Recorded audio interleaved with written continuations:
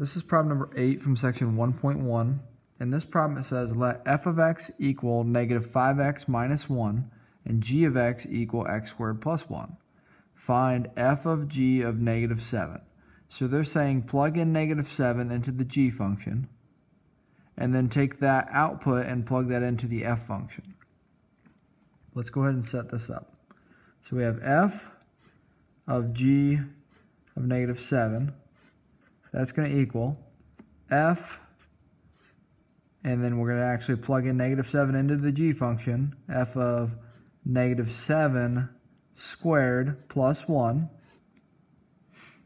right, because we're replacing g of negative 7 with negative 7 being input into the g function, which is equal to f of, that's 49 plus 1, which is f of 50,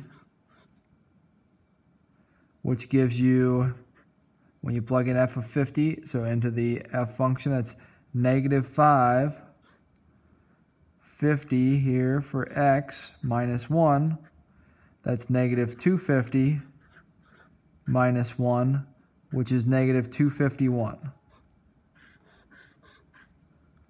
So f of g of negative 7, when you plug it in, you end up with negative 251 because you plug the negative 7 into the g function, right, into the g function. You get an output, which was 50, and you plug that into the f function, and you end up with negative 251.